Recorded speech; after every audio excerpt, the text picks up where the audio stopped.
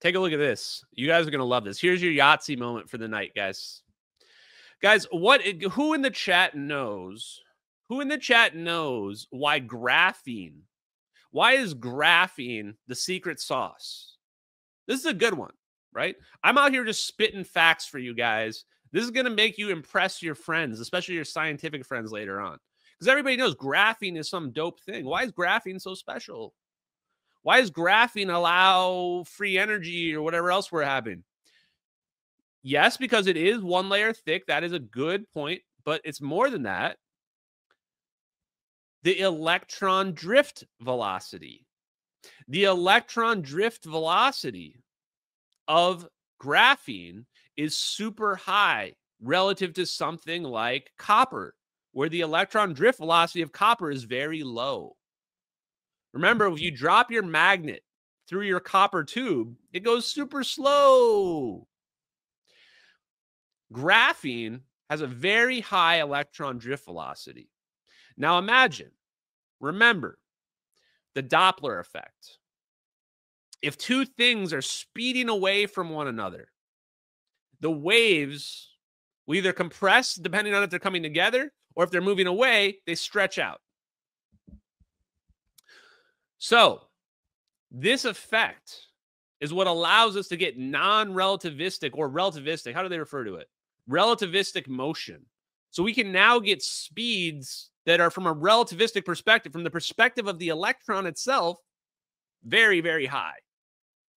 And when we get to these super high relativistic speeds, this is where we start to break the laws of physics.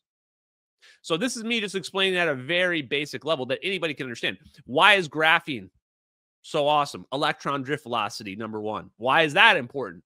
Because the faster your electrons are moving relative to one another, now you get relativistic motion. Now you can get super high speeds. Now we can basically start breaking the laws of physics from a relativistic perspective because all of us are in our own little bubble all the time.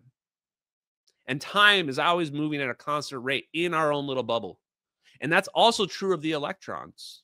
The electrons themselves are also experiencing time dilation. And so this is why we want this relativistic motion between them. This is why graphene is so important. And now that I've said that, let's take a look at this scientific paper one more time. What does this say right here on page four of David Kirtley's Helion fusion scientific paper about aneutronic fusion for commercial purposes?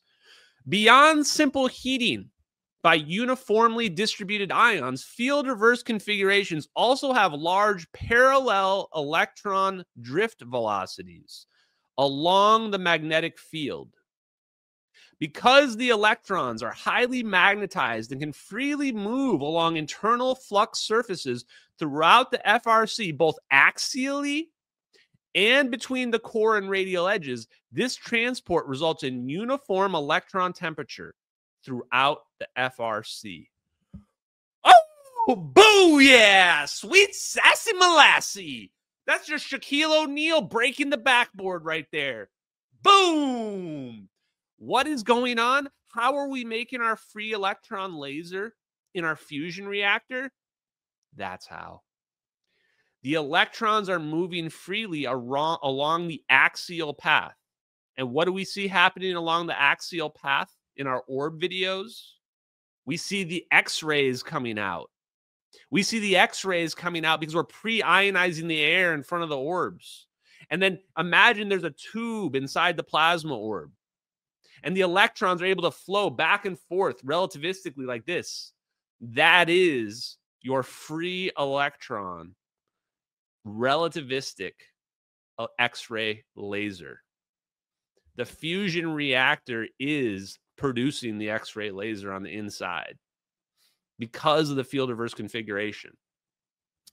Now, if I'm wrong and it's not exactly a field reverse configuration, this is still the same mechanism. If it happens to be a theta pinch or a dense plasma focus, they're all very similar concepts.